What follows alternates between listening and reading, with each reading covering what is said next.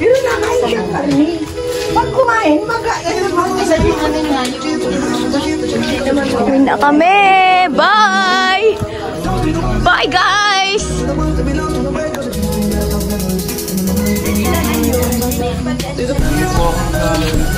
Ah!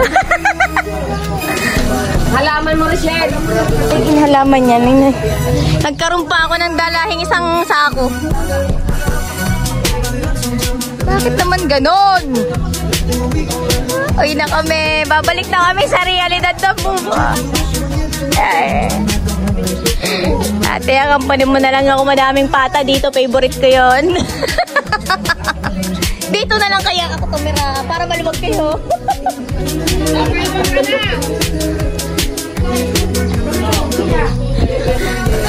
At yung aso nandun na mamaya wala na yan, nakasakay na din.